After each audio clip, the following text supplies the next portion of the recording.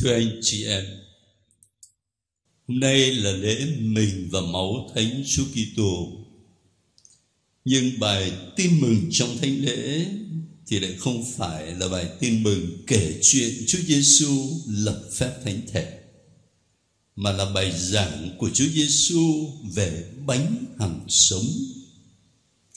Cho nên ờ, tôi nghĩ là để hiểu được bài giảng của Chúa Giêsu chúng ta phải đặt cái bài tin mừng này trong bối cảnh của tin mừng theo thánh Gioan. Nếu anh chị em trực tiếp đọc thì sẽ thấy đề ở đây, bài tin mừng này là một trích đoạn ở trong chương 6 của tin mừng Gioan. Chương 6 bắt đầu bằng câu chuyện Chúa Giêsu làm phép lạ hóa bánh ra nhiều. Nhưng mà Thánh Gioan không gọi đó là một phép lạ, mà gọi là dấu lạ. Nghĩa là làm sao? Nghĩa là những gì mà người ta nhìn thấy đó, Chúa Giêsu làm cho bánh đang ít mà thành nhiều để nuôi dân nó chỉ là những cái bên ngoài thôi, và những cái bên ngoài đó là dấu chỉ để diễn tả cái nội dung bên trong là nói về chính Chúa Giêsu là bánh hằng sống, gọi là dấu lạ tiếc là người ta lại không hiểu được cái điều đó. Người ta chỉ thấy có mỗi điều cái bây giờ ông này ông giỏi quá, ông làm phép lạ, hóa bánh ra nhiều. Cho nên là họ tính ờ, tôn Chúa Giêsu làm vua. Có ông vua kiểu này thì đỡ quá, đâu có phải đi làm ăn gì đâu cứ mỗi buổi sáng ông ấy làm phép lạ cái là ngon lành đó. Mà chính vì vậy Chúa Giêsu phải lánh đi một nơi khác. Và khi mà người ta nhất định đi tìm Chúa Giêsu cho bằng được, thì ngài mới nói với họ thế này. Các ông, các bà, các anh, các chị đi tìm tôi không phải là vì thấy giống lạ mà chỉ vì được ăn bánh no nê thôi. Thì câu đó cũng đáng cho chúng ta suy nghĩ. Không chỉ người do thái ngày xưa, mà con người ở mọi thời đại, thưa anh chị em. Thường là chỉ lo đến miếng ăn, đến nhu cầu vật chất. Không nghĩ được cái gì nó xa hơn, nó cao hơn cho nên sẵn sàng đánh đổi miếng ăn và nhu cầu vật chất để chấp nhận bị tước đoạt những cái giá trị cao quý như là tự do, là tình yêu, là tình nghĩa con người. Sẵn sàng bán hết, miễn sao ta có tiền. Thỏa mãn nhu cầu vật chất. Thế nhưng tuần trước, khi suy niệm về mầu nhiệm Thiên Chúa Ba Ngôi, Tôi có chia sẻ với anh chị em. Thiên Chúa Ba Ngôi là Thiên Chúa của tình yêu, hiệp thống. Con người chúng ta được tạo dựng theo hình ảnh của Thiên Chúa Có nghĩa là để sống cái tình yêu, hiệp thống đó Và càng sống tình yêu đó phong phú bao nhiêu Thì mình càng là người bấy nhiêu Thế cho nên, ở nơi con người không chỉ có miếng ăn và nhu cầu vật chất, cho dù là cần thiết, còn có những nhu cầu cao, quý hơn tôi xin lấy một ví dụ bằng cách là kể lại cho anh chị em nghe một sự kiện mới đây thôi. Vào cuối tháng năm vừa rồi, người ta trao giải thưởng Templeton cho một nhà khoa học. Anh chị em thường mỗi năm thì nghe nói đến giải Nobel. Nobel hòa bình, Nobel văn chương, Nobel kinh tế, Nobel y khoa chẳng hạn. Đó là những giải thưởng cao quý dành cho những nhân vật có những thành tựu lớn. Không có cái giải Nobel nào cho đời sống tâm linh tôn giáo cả, thấy không? Thế thì cái giải Templeton này, người ta nhìn đó như là một giải Nobel giá trị hơn một triệu euro, hơn một triệu đô la, tương đương với giải Nobel. Và giải này đặc biệt được trao cho những người dành cuộc đời của mình để nghiên cứu khoa học và đồng thời thúc đẩy đời sống tâm linh tôn giáo. Năm nay, giải thưởng đó được trao cho ông Francis Collins hiện nay ông là giám đốc của viện sức khỏe quốc gia Hoa Kỳ và cũng là nơi đang tập trung nghiên cứu để điều chế và sản xuất vaccine chống Covid-19. Trước đó, cả chục năm, ông đã viết một quyển sách rất nổi tiếng, bán chạy lắm, mà lại là một cuốn sách tôn giáo. Cuốn sách có tựa đề là Ngôn ngữ của Thiên Chúa. Nhà khoa học trình bày bằng chứng về niềm tin tôn giáo. Bây giờ người ta trao giải thưởng cao quý đó cho ông Thế thì trong một cuộc phỏng vấn, Có người đặt câu hỏi mà Nghe nói mà ngày xưa ông là người vô thần Mà sao bây giờ ông lại là Kitô hữu Ông ta mới kể là Đúng là như vậy. Từ nhỏ cho tới lớn, Tôi như người vô thần vậy Tôi không nghĩ gì về Thiên Chúa, Về đức tin tôn giáo hết. Và đến năm tôi 27 tuổi, Lúc đó đang là bác sĩ thực tập trong bệnh viện. Tôi chứng kiến hàng ngày Những bệnh nhân Cho dù sử dụng các thứ phương pháp Biện pháp y khoa tốt nhất Vẫn không qua khỏi, Vẫn chết. Và những bệnh nhân đó, Khi tôi có dịp gần gũi Trò chuyện với họ Họ nói với tôi nhiều điều. Và tâm trí tôi bắt đầu xuất hiện nhiều câu hỏi. Những câu hỏi mà không có mặt ở trong lĩnh vực khoa học tự nhiên. Những câu hỏi mà khoa học tự nhiên không trả lời được chẳng hạn như là, tại sao để có cái vũ trụ này thay vì không có gì hết?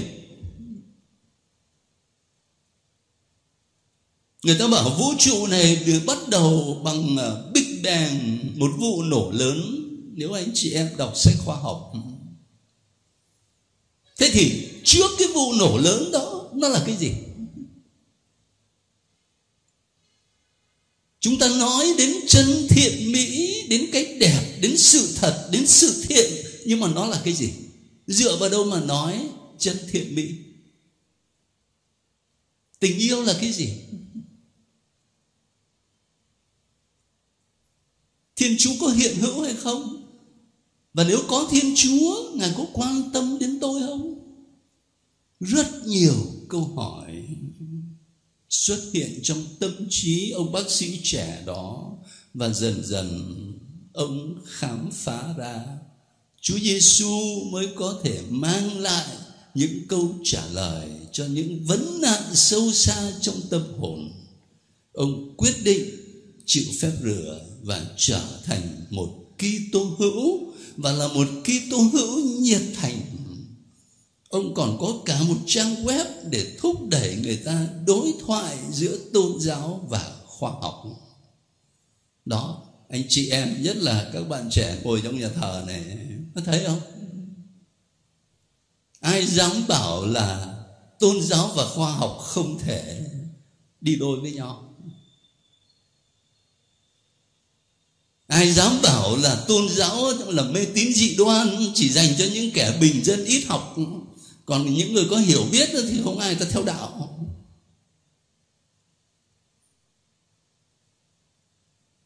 Một cái câu chuyện rất là cụ thể, Thực tế. Và từ đó chúng ta thấy rõ hơn những câu lời Chúa trong bài đọc thứ nhất hôm nay. Mà anh chị em có lẽ thuộc lòng. Người ta sống không chỉ nhờ cơm bánh, nhưng còn nhờ lời từ miệng thiên chúa phán ra. Không chỉ là tấm bánh vật chất mà chúng ta còn phải sống nhờ tấm bánh lời chúa. Thế bây giờ tôi mời anh chị em đi xa hơn một bước nữa. Không chỉ là bánh lời Chúa, nhưng là bánh thánh thể. Khi Chúa Giêsu nói, ta là bánh hằng sống từ trời xuống. Ai ăn thịt ta và uống máu ta sống đời đời. Anh chị em hình dung đã coi, bây giờ một người không phải là người công giáo, người ta nghe cái câu này, ai ăn thịt ta, ai uống máu ta. Người ta hiểu không sao? Chắc người ta nghĩ trong bụng của cái đạo này ghê quá. Thế kỷ 21 rồi mà còn ăn thịt với uống máu người thế này thì đúng là mọi rợ. Cho nên người do thái ngày xưa người ta phản ứng có gì khó hiểu đâu. Người ta phản ứng là, trời ơi, làm sao ông này có thể lấy thịt ông mà cho tôi ăn được? Nhưng mà Chúa Giêsu khẳng định như vậy thế thì chúng ta phải hiểu thịt và mẫu ở đây là toàn bộ con người Chúa Giêsu Tôi nói điều này không phải là cá nhân tôi đâu, Mà là chính Đức Benedicto thứ 16 giải thích. Toàn bộ con người Chúa Giêsu cho nên mình đừng quan niệm cái việc rước lễ nó quá vật chất là tôi ăn một tấm bánh, không phải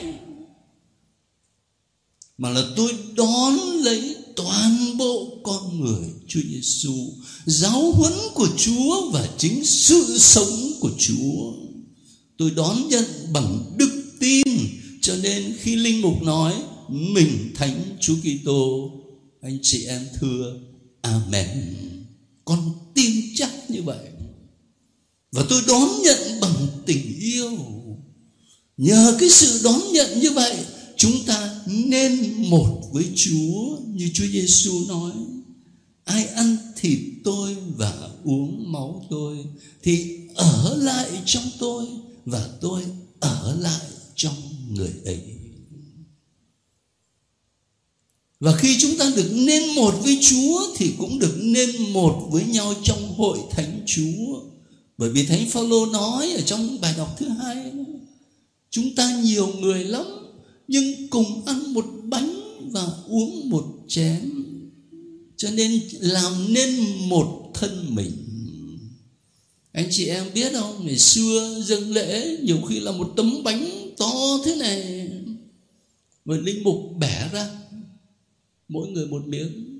Cho nên chúng ta tuy nhiều nhưng ăn cùng một bánh, uống cùng một chén, ta làm nên một thân mình. Và khi đón nhận Chúa Giêsu như vậy, là đón nhận cái sự sống của Chúa, sự sống của đấng Thiên Chúa hằng sống. Cho nên, chúng ta cũng đón nhận cái sự sống đời đời Chúa ban cho chúng ta. Đặc biệt, người công giáo nào mà trong giờ hấp hối trước khi qua đời lại không mong ước được gặp linh mục, được xưng tội, được sức dầu thánh được chịu phép sức dầu và được rước lễ gọi là của ăn đàng. Anh chị em nhớ không? Thành thử ra, khi anh chị em cùng với tôi đọc lại cái bài tin mừng này, trong toàn bộ chương 6 của tin mừng theo Thánh Gioan, chúng ta thấy từ bánh vật chất nâng lên tới bánh lời Chúa nâng lên tới bánh thánh thể là thịt máu Chúa Kitô. Mỗi một khi chúng ta đến đây dâng thánh lễ Chúa dọn ra cho chúng ta bàn tiệc bánh lời Chúa, bánh thánh thể. Chính vì vậy mà bí tích thánh thể là nguồn mạch và cao điểm của đời sống khi tô hữu chúng ta. Vậy thì hôm nay lễ bình máu thánh Chúa Kitô không những là với sự hiểu biết về mặt lý trí nhưng xin Chúa khơi dậy đức tin nơi chúng ta. Để với sự hiểu biết và ý thức đức tin như vậy chúng ta cùng nhau dâng thánh lễ hôm nay và thánh lễ mỗi một ngày với tất cả lòng yêu mến. Để nhờ đó được nên một với Chúa, được hiệp thông với nhau và đón nhận sự sống vĩnh cửu Chúa ban cho chúng ta. Amen.